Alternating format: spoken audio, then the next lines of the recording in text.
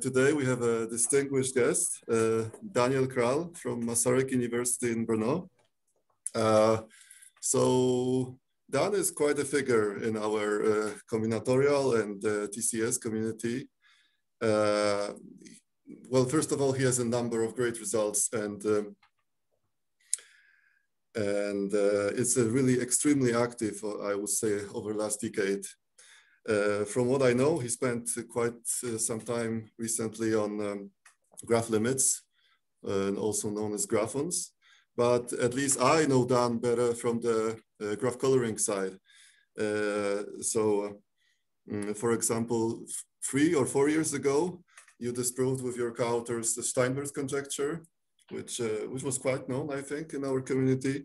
So that was that every planar graph that has no cycles of length four and five is three colorable. That was the conjecture, and it's it's not true. Uh, there's a nice construction. Uh, today, as we see, we will hear something about quasi-random uh, structures in, in, combinatorics. I don't know much about it. I'm looking forward uh, to see the talk. So welcome all, welcome Dan, and please start. Okay, thank you for such an introduction. Now I actually feel even more nervous than before. And I should perhaps disclose that I was like always a person who likes giving talks in person. And I must say that this is actually the first seminar talk that I'm giving remotely. So, so I'm even more nervous. Like the introduction definitely didn't help me too much. And uh, so I'm hopefully it will go well. I opened the chat on the side. So if you have any questions during the talk, like please post them in the chat. Uh, likewise, I think the group is quite small. I was I was looking and we're like about 15 people connected. So I guess you may also just unmute yourself and ask the question. And uh, I will be talking today about uh, quasi-randomness. Uh, there will be also a little bit about graph limits, but uh, we will see. Okay, anyway. So let me start with general motivation. So basically, the motivation is to kind of get a sense what it means that uh, something looks like a random object. So being it a graph, being it a permutation, you may be thinking about partial orders, hypergraphs, directed graphs, and so on. And we will actually see four different kinds of these objects during this talk. And uh, of course, like uh, we never really can have a random object because I mean, if we if I pick a random graph on 10 vertices, if a non-trivial probability, I may get a clique, whatever notion of uh, random graph I, I, start with. I may get an empty graph, but this is not a kind of graph we would generally expect to get. We would perhaps expect to get a somewhat graph, which would be like, uh, maybe like the density will be half and maybe would have some other properties. And we would like to understand what properties such a randomly chosen, randomly generated graph would have. And why do we care? So I mostly care because I, I find the mathematics around this subject quite nice. But uh, the applications in computer science, uh, both, uh, I think it's important to understand like uh, uh, in, in relation, like quasi-randomness in relation to the randomization or application in cryptography. So actually like lots of uh, these tests can be, or the tests which are related to, to the notion of quasi-randomness can be used to, to look at uh, encrypted text and there are some dependencies. And that actually is another area of, of applications that in statistics one may notice some dependencies between data which otherwise might go unspotted. So I will not be talking about these, these applications during this talk, and I will focus only on the mathematics. I must also say that I'm not like super familiar with these applications. I'm aware of their existence, but uh, I, I never really try to pursue like the, the re results to, to be brought to, to more applied. And uh, maybe it's also partly my fault in the sense that I know some problems that uh, people a little bit on the more applied side would be actually interested in, but they might not be so mathematically charmful as uh, the topics I have been looking at so far. So the four objects that I've been look, I, I intend to be looking in the next uh, uh, 50 to 60 minutes are graphs, tournaments, permutations, and Latin squares. I will spend more most of the time on graphs, even if uh, perhaps myself I cannot add so much to the topic, but I will mention some connections to graph limits. And in general, also this analytic view on quasi-randomness will reappear in other parts of the talk, for example, at permutations. So let me start with graphs. And uh, now I should say what kind of model of a, of a random graph we're thinking of. And for me, like I want to start with the classical Erdős-Rényi random graph model. So I have, uh, I have n vertices and I'm putting uh, an edge between any two of them with probability p independently of, of uh, one of the others. So, so for me, a truly random graph would be a graph that would come from this Erdős-Rényi process. So I start with n vertices for every pair independently of the others. I decide if I want to include an edge or not. I'll do so with probability p. And the object that I'm getting is a graph. Please notice that I'm thinking of labeled graphs. So the, the several the graphs which are isomorphic to each other can actually be generated in several different ways. And now if somebody comes to me with a specific graph, I kind of want to, to say whether it looks like that it could have been generated with high probability through this process. Like, of course, if you come to me with a single specific graph and the probability is quite small, it can be computed. So, so, so one perhaps should not be looking only at a single graph, but maybe rather at a, at a sequence of graphs of increasing orders. So whenever I will be actually talking about quasi-randomness, I will not be talking, even if I will be quite often imprecisely saying it, but I will not have it in mind, but I'm talking about a single object, but I'm rather thinking about a sequence object of objects of increasing orders. And I'm trying to understand if the objects in this sequence look like that they could have been generated through this, uh, in this particular case, Erdős-Rényi random process. And actually the theory of, uh, of quasi-random graphs, uh, that goes quite back in the history. So it can be traced to the 80s. And most of the results that I'm going to present on this and the next slide are actually from the, from the early and late 80s. And uh, it started with, uh, with results of Rödl, Thomason, Chung, Graham, and Wilson. And now let me try to actually maybe make the little bit more sense of what for me it would mean that a sequence of graphs is quasi-random. So I said I wish to that sequence to look like uh, graphs that could be generated for, through this Erdős-Rényi random process. And there are many properties that these graphs may have. And uh, throughout this talk, I will be usually looking at the, at the density of substructures. So, so for that, I have here a definition. And I want to say that the density of a graph H in a graph G is the probability that a random mapping of the vertices of H to the vertices of G actually yields a homomorphism. So, so let's say that H is an edge. So when the density of an edge would be just the edge density of the graph. If I'm looking, let's say at C4, which will be a graph which will be prominently appearing in the in uh, in relation to to graph quasi-randomness, when uh, what I what I'm looking is that I map the vertices of C4 to my large graph randomly, and I'm looking at the probability that what I'm going to see with, the, the mapping that I'm going to obtain will be a homomorphism from C4. So if I map the four vertices, I'm looking at the probability that the first vertex is connected to the second, second to the third, third to the fourth, and uh, fourth to the fifth. And one result that actually, if you haven't seen it before, and I, I personally found it very surprising when I when I saw it uh, for the first time, is that if we we define a sequence of graphs is quasi-random, if the density of every graph in the sequence converges to its expected density in the uh, Erdős-Rényi random graph. So for example, let's say we fix P. So when the density of K2, we would require in the sequence to converge to P the density of a triangle we would require to converge to p cubed, the density of C4, not surprisingly, to p to the 4, the density of Kn we would require to converge to p to, to n choose 2, density of uh, larger cycles, a cycle of length L to p to L. And a result which uh, was proven by Rödl and then like uh, somehow appeared uh, appeared uh, appear, reappeared in, in, a broader context in the work of Thomas and Chung, Graham, and Wilson, is that actually instead of requiring that the densities of all graphs do converge to their expected density in the Erdős-Rényi random graph, it's enough to require the density of an edge and the density of C4.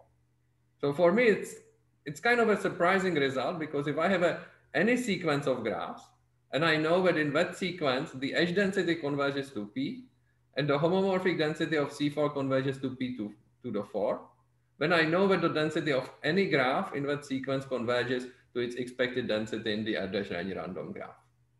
So from this point of view, so instead of, of saying that a graph is quasi-random, and now we have a definition here which, which uh, deals with countably many conditions, when we actually can have two conditions, the density of edges and the density of C4. And actually it turns out that uh, this notion of graph quasi-randomness is quite robust. So it's equivalent to many other different notions, as was pr proven by Chung, Graham, and Wilson. And I mentioned a couple of them here. So I try to prepare some illustrative figures. I don't know how illustrative they are or they are not, but let me let me try to do, do my best job using them. So, so one, the so let's say the definition is that we want the density of all substructures. And again, we're talking about the sequence. So in the sequence to converge to, to their expected density in the truly random graph. And the first, first equivalent definition that I have already mentioned is that in case of looking at all possible graphs, we may just look at an edge and the cycle of length four. And so this is a definition of quasi-randomness which goes through the substructure density. But we may also, so it's kind of a local definition because I, if I'm looking at the density of C4, I'm just looking at four vertices.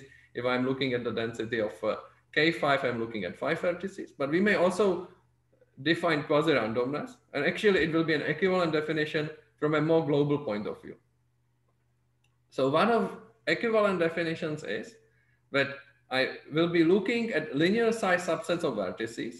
So let's say I fix some epsilon and I will be looking at, at subsets of, of uh, at least epsilon times n vertices.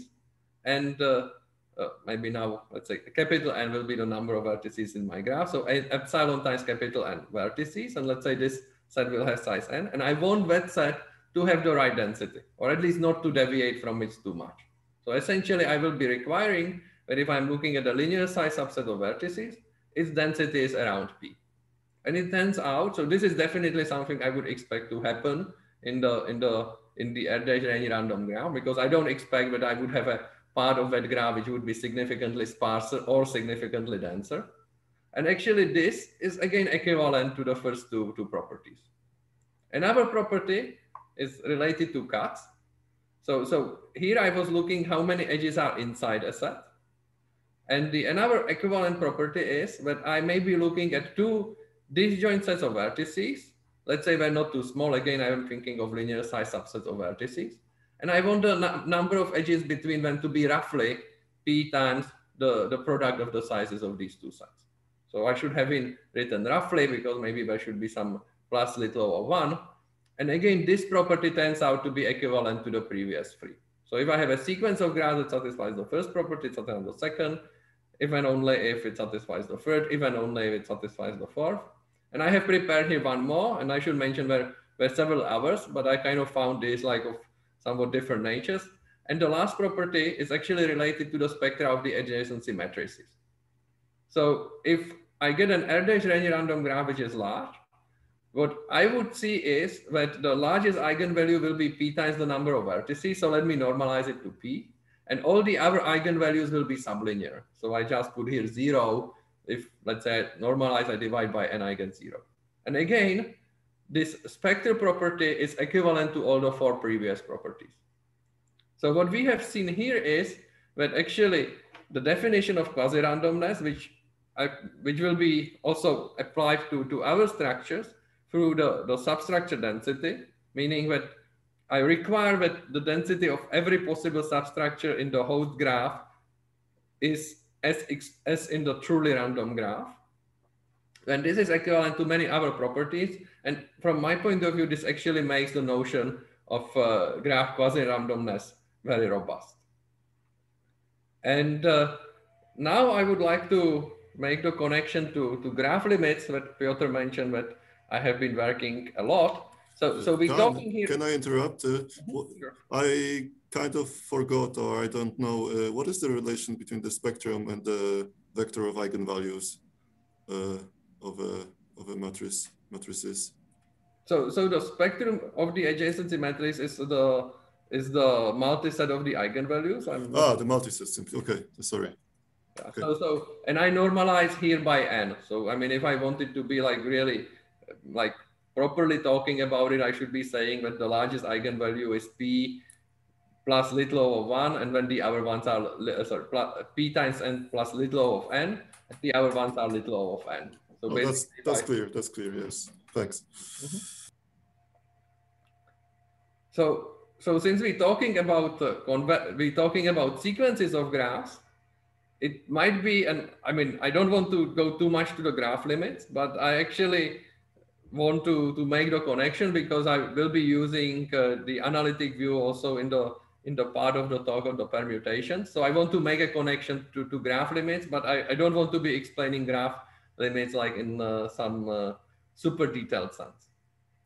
So so the aim of graph limits is to associate some analytic object with a sequence of graphs which is said to be convergent. And convergent means that the density of every subgraph in the sequence converges. So what I, what I mean by that is that I have a sequence of graphs where the density of edges converges, the density of C4s converges, the density of K3s converges, the density of K4 converges, and so on. So note that this definition is weaker than the definition of quasi-randomness because in the quasi-randomness, I was requiring that the density converges and the limit is the one that is uh, the, the expected density. Here I just require a convergence. So for example, if I take a sequence of cliques, it's a convergent sequence of, uh, of graphs. And with such a sequence, I want to associate an analytic object that would be capturing the properties of that sequence. So, so formally that object would be a symmetric measurable function from unit square to zero, one. And usually what I will be doing is that I will be drawing a square. The black areas will be ones, the white areas will be zeros. It's an interval, so it can also be gray. So there can be some value between zero and, and, and one. And in the first approximation, one can think of this as a continuous version of the adjacency matrix. But I must say that even if this sounds very intuitive and maybe like kind of kindergarten, like it's it's very very imprecise because actually to build a theory one like needs like some some tools. So perhaps the most simple tools is using regularity decomposition of graphs and then apply some results from probability. Where some uh, some other approaches uh, using, for example, ultra limits, but definitely like even if this idea that it's a continuous version of adjacency matrix sounds very plausible when it's, it's a huge oversimplification. Nevertheless, equipped with this definition, we may be guessing that a sequence of graphs will be quasi-random if and only if its limit will be will be one half. So it will be a, a graphon which is equal to one half almost everywhere. And that's actually the case. And uh, this brings us to a slightly stronger concept. So maybe before I introduce it, I should have, and apologies, like it's, as I said, like it's the first time I'm actually giving this talk and, and giving it in particular remotely. So, so I should have, before going to this, I should have maybe went through the examples I have prepared here. So, so I have prepared here like as an example of a convergent sequence of graphs, a sequence of complete bipartite graphs where the two parts are in the ratio one to two. I sketch here the, the corresponding adjacency matrix and the corresponding limit. So for me, the origin will be always in the top left corner. So we see here two white squares corresponding to the independent sets of the graph and two black rectangles corresponding to all the edges between. So not surprisingly, this graphon would represent a sequence of graphs that looks like complete bipartite graphs with parts of equal sizes. This graphon would correspond to a sequence of graphs where I have a clique on half of the vertices, clique on quarter of the vertices, one eighth vertices, and so on. And this graphon, which is equal to, let's say, one half everywhere. So this would actually correspond to the to the to the sequence of graphs which is quasi random because we just don't expect to see any structure. We just expect to see the density of edges one half everywhere. So it is possible to define some sampling process. I don't want to go through it. So it makes sense to define density of graphs in graphons. And one can show that the, the if I am promised that the edge density of a graphon is P. So we would perhaps guess that the edge density would just mean that I integrate the, the function over the unit square and that's indeed what the edge density is. And the density of C4, which would have a slightly more complex definition, is P to the 4 when the graphon is equal to P almost everywhere. And I will be dropping this almost everywhere if when I'm talking about graphons. And this actually leads to a more general concept in, in, uh, in, uh, in graph theory and graph limits. Because what we have seen here is when we have two specific graphs, K2 and C4, and if we know where density is, we know what the graphon is. So we might be thinking, other any other like uh, pairs, triples, quadruples of graphs, such that if we fix where density, we will have uniquely determined the structure of the graphon. And for example, another graphon that has this property is this one, because this is the only graphon with edge density one half and triangle density being zero. So we know that from, from uh, Turan's theorem, sorry, Mantel's theorem, that the, the largest possible edge density of a triangle free graph is one half and it's achieved by uh, complete bipartite graphs. So basically this is another example of a graphon where if I fix two specific subgraphs, in this particular case, it will be the edge density to be one half and the triangle density to be zero, when again, I know the structure. So this leads to a more general concept, which is called finitely forcible. And uh, so, so I already said the definition, so let me just repeat it. So, so I say that a graphon is finitely forcible if there exist finitely many graphs and their densities, such that whenever I have another graphon where the density of gi is di, so let me again emphasize that this, this exists means that finitely many such graphs and densities, when that graphon must be the graphon W0. So I already mentioned this graphon is finitely forcible. Edge density zero, uh, sorry, edge density one half, triangle density zero. This graphon is finitely forcible. So that's, uh, that's because of quasi-randomness. I fix edge density one half, uh, density of C4 to be one over 16. Lovász and Sós actually showed that all graphons that look like these checker graphons, which are called step graphons, are finitely forcible. And Lovász and Szegedy actually gave some additional examples of finitely forcible graphons. So I prepared here two examples that actually come from a paper from 2011. And uh, there was some hope, like if one looks at these examples, like even on like, one would appreciate that they look like simple. So that one they can have some structure, clearly as step graphons, for example, but they, their structure does not seem to be like particularly complex. So, so there have been a couple of problems related to one. So, so one was like, is it true that every finitely forcible graphon has a simple structure? And then, as I already, for example, mentioned here, this graph appears as an extreme example for Mantel's theorem. So another problem that was in this area is if every extremal graph theory problem has a finitely forcible optimum. So perhaps the hope would be that first we can show that these finitely forcible graphons have simple structure. And we may also show that if we're looking at some wide range of problems from extreme graph theory, we will be, we will be guaranteed that the at least one of the extremes will be one of these finitely forcible graphons or graphs that do correspond to it. And then maybe give, we can exploit the simplicity of them. So the bad news is that neither is true. So for the simple structure, actually Lovász and, and Szegedy offered various conjectures. So we're talking about the space of typical vertices and we were saying that it has some nice properties like being uh, finite dimensional, being compact. And uh, in, in work with uh, my postdocs and students, we, we basically destroyed all these conjectures. So we came up with various examples that uh, the space is not only compact, it's not locally compact, not only is not finite dimensional, you can find like uh, infinite dimensional hypercubes in it, but uh, or like homeomorphic when I'm looking at this topological topological space, where where this uh, finite dimension would Im imply like small regularity partitions. So we have an example of, of graphons that uh, are finitely forcible and don't have small epsilon regular partitions. And uh, when it actually turned out that the truth is much worse. And uh, with uh, Jake Cooper, who at that time was my actually an undergrad student at Warwick, and Taísa Martins, she was my PhD student, we actually showed that uh, every graphon is a subgraphon of a finitely forcible graphon.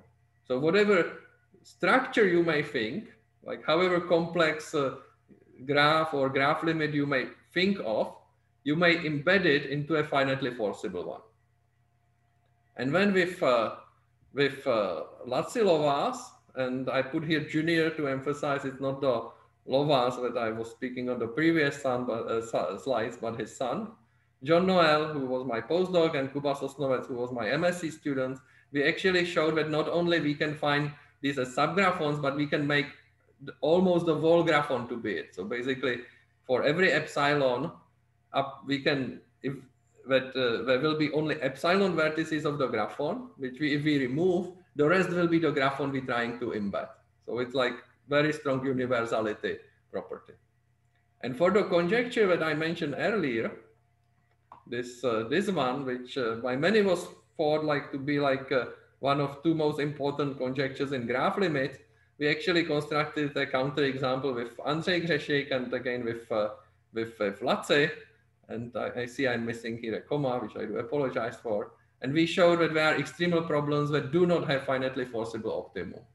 So basically, there's uh, that is how that uh, every problem, even if we already know that the finitely forcible graph limits do not have a simple structure, but at least like every extremal problem would have a solution which is finitely forcible. And this is also, this, this hope is also not existing. Just to give you some uh, idea or appreciation how the situation may look like, I prepare here some, uh, some uh, finite examples of finitely forcible graphons. So this is the very first one we constructed with, uh, with uh, Roman and Jan, which uh, has the space, the, the space of typical vertices non-compact. And when non-compactness is actually caused by this bit. So if one would look here carefully, one can see some kind of like uh, uh, getting smaller, smaller, kind of like uh, one can say VC dimension if one wishes, like somehow getting quite complex structure here. And when these are like other examples, so this one is actually how the, the one we constructed with Jake and, and Taísa, but uh, basically we have here some auxiliary structure and in this style that if you have very good eyes, you can see W when that's actually where we can embed an arbitrary graphon. So basically we kind of set up some auxiliary structure and then use it to force one tile to look like, uh, like what we wish it to look. So I wanted to make this detour, first of all, because I find this concept of uh, finitely forcible uh, graphons like to be to be natural in the sense that we generalize it quasi-random graphs but I also wanted to mention I joined by with Andrzej, who's, who's from Krakow, and, and wanted to please him as, as my, my co-author. So,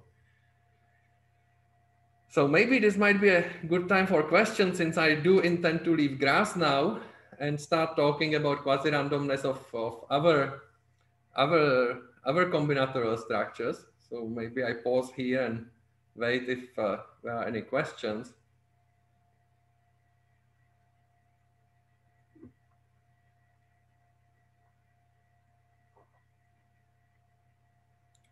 but does not seem to be the case. So, so the rest of the talk will be more quasi-random. So I will be talking about, uh, I will not be making these detours to, to, to graph limits or permutation limits so much. And, uh, and also like I, when I was preparing this talk, I was thinking if I should include some proofs, but when I rather decided that I will be talking about connected results and, and not be, be doing like uh, I mean, there will be one sketch of proof, but I will be doing close to no proofs during this talk. So I want to briefly mention tournaments, which uh, just will be on the same page. A tournament is just an orientation of a complete graph. So we may see here like uh, four specific tournaments. These tournaments are transitive, meaning that one can number the vertices, in this particular case, one, two, three, four, five but one has always an edge from a vertex with a smaller number to a larger number. This is a transitive tournament on six vertices. This is a transitive tournament on seven vertices. And this is a tournament on five vertices, which I will explain in a second why I, I put it here. And one may be, it's perhaps like it's not hard to imagine what it would mean when a sequence of tournaments is quasi-random. A sequence of tournaments is quasi-random if uh, the density of every sub-tournament in the sequence converges to its expected density in uh, in a truly random tournament. A truly random tournament is a tournament where I orient every edge randomly. And uh, it's, it's well known that uh, transitive tournaments do force quasi-randomness. So if I, uh, if I promise you that the density of transit, and I should have said here transitive tournaments with at least four vertices. So if I promise you that the density of a transitive tournament, let's say on five vertices like this one, is what one would expect it to be in a truly random tournament, which uh, would be 5 factorial divided by 2 to 10, when uh, I, I know that the tournament is, is quasi-random. So if I have a sequence of graphs where the density of this particle transitive tournament converges to its expected density, when I know that the density of all tournaments converges to, to their expected density. And uh, this, uh, as I said, this was uh, this was well known as a, a simple simple flag algebra proof due to Coregliano and Razborov. And when there was a there was a thought that maybe there might be some others, and there's indeed an, another five vertex tournament with the same property. So unlike in the in the graphs where we needed two graphs, and it actually can be shown that one graph is not enough, here we can fix the density of a single tournament. And when we have this sporadic five vertex tournament, that if I have a sequence of tournaments, and uh, in this sequence, the density of every sub-tournament, uh, uh, uh, density of these tournaments converges to its expected density in a, in a random tournament, when the density of every sub-tournament converges to its expected density. And when, okay, so we found a example on five vertices, and we in this part, we means like humankind in this particular case, Coregliano, Parente, and Sato. And one would wonder, are there some others? So in particular, if you look at this one, I personally cannot see too much structure in it. So there are somehow these two cyclic triangles, and when you have edges from these two vertices to these two vertices, but it doesn't seem to have some great properties to generalize. And it's actually not so hard to show that there is no seven vertex tournament, which appears in the paper of Bucić-Long, Shapira, and Sudakov. They actually were looking at uh, at also like uh, some locality properties in tournaments. So this is one of many results in their paper. So, and equipped with this, one would wonder, okay, so maybe there still might be some additional five or six vertex ones. And actually with uh, Robert Hancock, who was my postdoc, Adam Kabela, who was also my postdoc, Taísa Martins, who actually at that time was not already my PhD student, she, has, she had graduated, uh, Parente, Fiona Skerman, and Honza Volec, we, we actually showed that uh, that there are no additional tournaments. So basically, in addition to transitive tournaments, this is the only one that actually forces quasi-randomness. So I personally don't have any intuition why this tournament is is uh, is exceptional. I may briefly say that what we basically did is we took a tournamenton, like the the analytic representation of uh, of uh, of tournaments, the truly quasi-random one, and we, we did some local modification, preserving the density of, uh, of the tournaments. We have been looking in a way that, uh, the density is present, but the tournamenton is not uh, corresponding to a quasi-random sequence anymore. So I perhaps don't want to talk too much about tournamentons. I want to spend most of my talk about talking about permutations. I actually think that uh, there are a couple of nice open problems left, which I would like to mention. But uh, I think it's again might be a good time for me to pause and uh, see if there are any questions. So when you say that the uh, uh tournament is quasi-random for a single, like a transitive tournament, I should think that if I take any transitive tournament, like on 100 vertices, and I just have there uh, the, the probability for this 100 vertex tournament, right, which is uh, which is 100 factorial over over 2 to the 100, right? No, 100 factorial over 2 to 100 choose 2. Choose 2, sorry, yes. If I just have it this one, right, then uh, then everything is uh, exactly. forced. I see. Exactly. And is it is there an easy way to see that uh, that you know that the that a single edge is not forcing in a tournament or a triangle is not forcing uh, for triangle like basically triangle force is just the degrees if i do remember correctly so so if you if you so so i mean i might now be saying something which is not true but i do believe i do remember correctly i mean i haven't been working on this for for a couple of years uh, so uh, so if you fix the density of a transitive free vertex tournament when you guaranteed that every vertex will have roughly in degree half and uh, out degree half of all the vertices, but nothing more. Okay. So it's a step towards, but it's not sufficient. But once you fix a four vertex transitive tournament, when you have the structure completely fixed. And when I fix a probability of an edge, then what do I have? Uh, it's a tournament, so there's uh, all. Oh, oh, sorry. Yes, yes, of course. Okay. But if you start thinking about uh, directed graphs, and I was thinking so, so but definitely if you fix the density of all four vertex uh, uh, subgraphs in a directed graph, you will again get the quasi-randomness, but I'm not actually sure what is the smallest set known. And then you would of course need to, to fix the edge density value. And then does it make sense uh, to fix uh, more than one graph and fi find if the set forces No, it everything? actually makes sense. So if I, if uh, like you, so so for tournaments, like I, I mean, I don't think there have been a study of like fixing more than one tournament. For graphs, like I actually noticed that the Misha Tyomkyn was talking about his joint work with Asaf Shapira yesterday in Prague, and uh, and they showed that uh, that if you fix the density of all cliques in a, in a graph, it uh, doesn't force quasi-randomness. So people are definitely interested in forcing, like looking what our finite or infinite tuples of graphs you may fix and they will give you the quasi-randomness. But I must say that I didn't prepare a slide with all the results and I perhaps won't be able to, to list too many from my head right now. Okay, thanks. Thanks for the question. Are any further questions? So, so I'm going to move to permutations. And uh, again, like for me, the quasi-randomness of permutation will be that I want to be looking at the density of substructures. And now I need to define what is a subpermutation for me. So first I should say that I will be looking at permutations purely from the combinatorial point of view. So I won't be looking at any like algebraic properties, uh, like uh, cycles or signs or anything like that.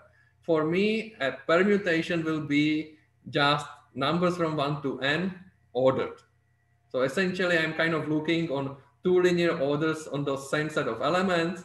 One is giving me the order from left to right. The other one is giving me their actual values. So basically, if I take one order, I would it would sort me then from left to right, and the other order would tell me this is the smallest, this is the second smallest, this is the third smallest, this is the fourth smallest, and so on. And for me, a subpermutation. So I prepared here two examples because I believe like if you see see see the uh, see an example like you immediately understand. So let's say I want to look at the subpermutation induced by the three underlying elements. So it will have three elements. The smallest of them becomes one. So because this three is smallest among three, five, five, three, six, the middle element is one. Five becomes two because it's the second smallest, and six becomes three. And likewise here, if I'm looking at the subpermutation given by this 531, but when subpermutation is 321. So essentially, I keep both linear orders as, as they are. And I should say here that even if I will be using subpermutations to kind of make a link to, to substructures, when uh, in the permutation community, this, this is actually called patterns. So, so I should like uh, mention that, but I, I somehow prepare, prefer using uh, subpermutations in this context. And again, we have a limit object. It was uh, developed in a in a in two papers by uh, by Hoppen, Kohayakawa, Moreira, Rath, and Sampaio. And uh, the limit object in this particular case, of course, one can may, may think of it as a function, which actually is thought in, in their papers, but I personally find it more natural to think of it as a probability measure on a zero one squared with unit marginals. So unit marginal for me means if I project a measure on uh, the x coordinate, I get a uniform measure. And if I project it on the y coordinate, I again get a uniform measure. And when I prepared here like uh, four possible measures, so, so this line means that the support of the measure is on, the, on this main diagonal. And not surprisingly, one would think of this as a permutation, which is one, two, three, four, five, six up to n. So an increasing permutation. So if I if I would take a kind of a checker box and I would be checking where the elements of the permutation are, if I have a and the identity permutation, and basically like in the limit, I would be kind of getting a measure that would look like this. So this is the decreasing. This is the one where I have two increasing segments and where values are, are in, interlaced. And for the truly random permutation, I will just have the uniform measure because I just expect that the, the values are distributed everywhere. So if I take one, let's say I take one of the n, the, uh, an n permutation randomly, then I don't expect that in the first half I will have smaller values or larger values. So I just expect to get the uniform measure on the on the unit square.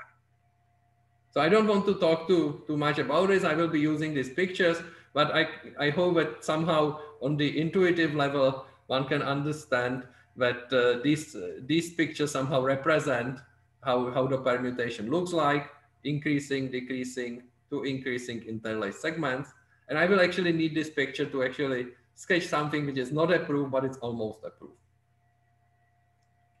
So for permutations, it's uh, at least in combinatorics, it uh, was not known if the same phenomenon as for graphs holds. So, so let me maybe, even if perhaps by now you would guess what I would mean by, by quasi-random sequence. So I will say that a sequence of permutation is quasi-random if uh, the density of every subpermutation converges to its expected density. So if I have a k permutation, the expected density is 1 over k factorial. And in this, uh, in this analytic sense, this would mean that the sequence of permutation converges to the uniform measure. And Graham asked is actually where exists K0 such that if I'm guaranteed that the density of all K0 permutations converges to what it should, then uh, it converges for all permutations. So let's say I would know that the density of every five permutation converges to one over five factorial, then I would like, when the question is, does it imply but the same holds for 10 permutations, 12 permutations, and so on. And it's not hard to observe that, uh, that K0 equals 3 is not sufficient. And I prefer, prepare here a sketch of the, of the proof. So let's look at the permutation, large permutation that has this shape. So I basically, let's say on even positions, I put even numbers increasing. On odd positions, I put odd numbers decreasing. And in this permutation, it's uh, not hard to, to compute. The density of one, two, three will be quarter. So it's like an exercise, but it's not hard to, or at least the limit, if n is sufficiently large, will be quarter. And when one takes a permutation that looks like this, so the first half on the, let's say, even positions, I'm decreasing from roughly n over 2 to 0. And then on uh, in the second half on even positions, I'm decreasing from n to roughly n over 2. And when on the odd positions, in the first half, I'm increasing from n half to n, and when on the second half from 1 to roughly n over 2. And again, it's not hard to compute when in this picture, the density of 1 to 3 is actually 1 over 8. So in the truly random, we would expect 1 to 3 to have density 1 over 6, which is between quarter and 1 eighth. So what I'm going to do, I'm going to transform this permuton, this permutation limit in a continuous way to this permutation limit.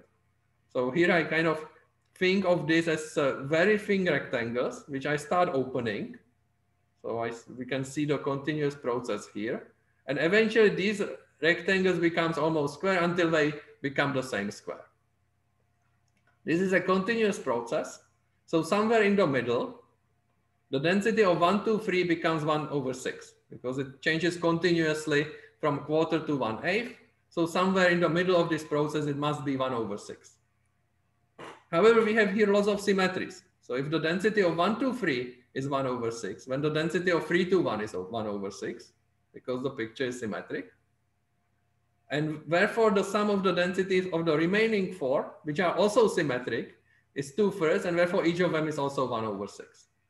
So somehow when we hit the density one, two, three, because the picture is horizontally and vertically symmetric, we immediately have that the densities of all of them are actually one over six.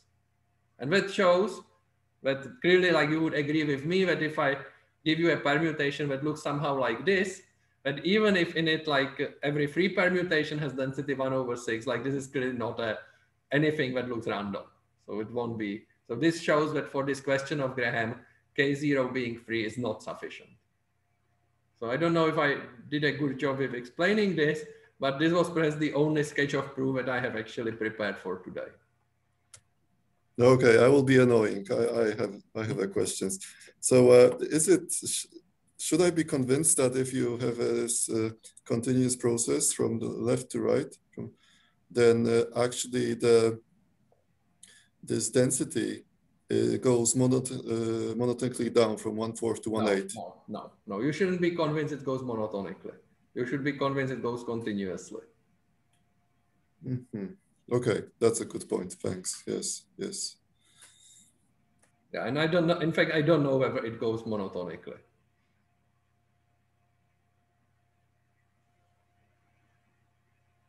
But thanks, thanks for the question. I think it was important.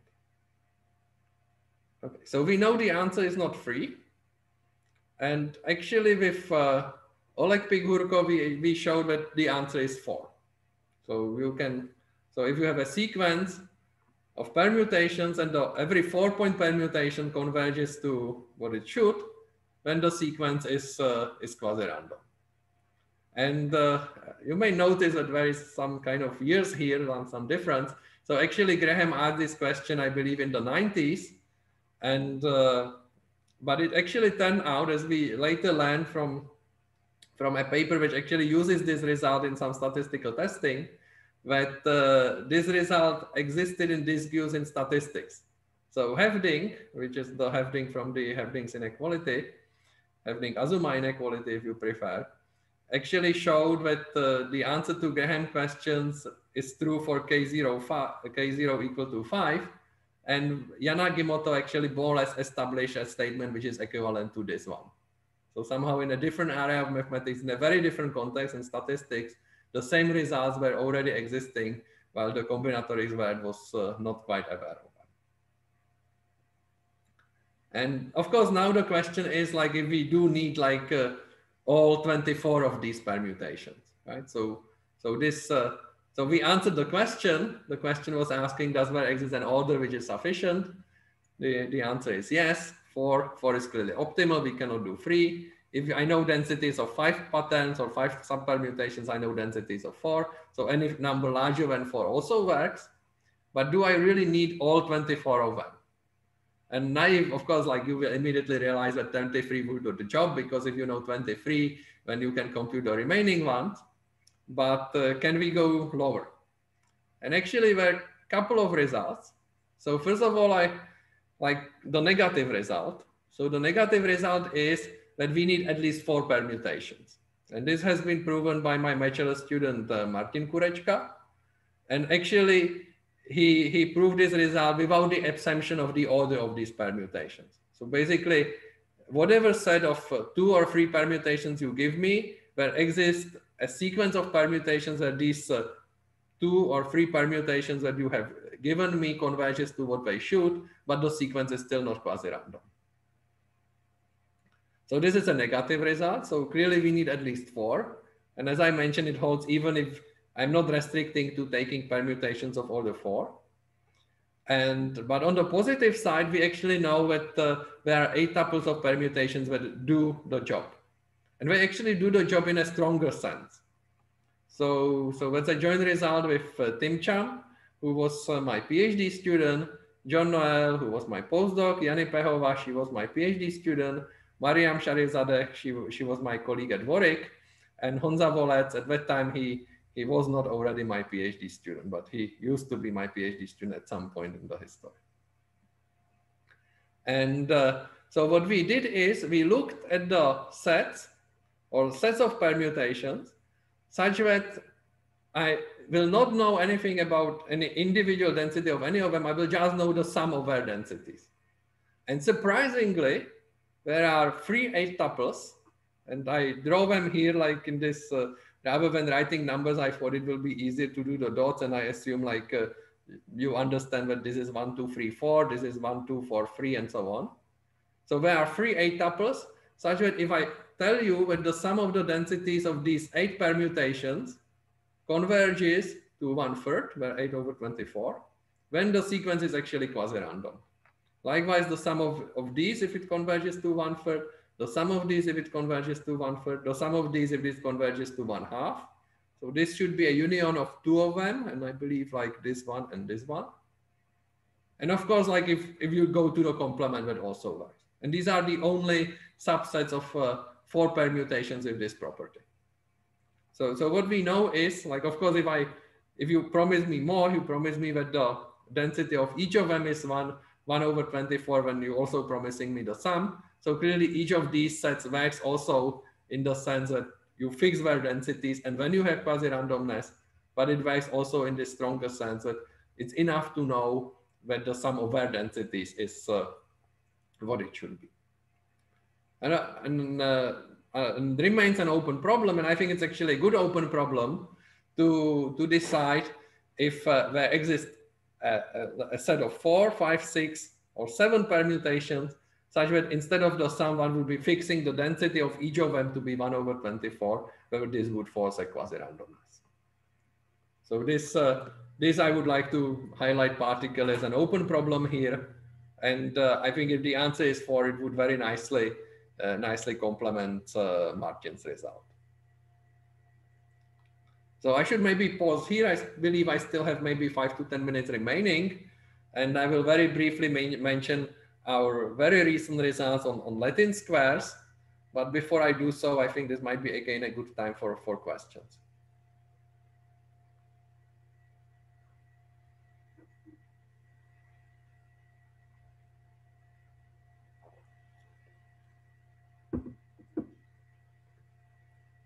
So it does not seem to be the case. So in that case, I am coming to the last part of the talk. And uh, I want to be talking about Latin squares.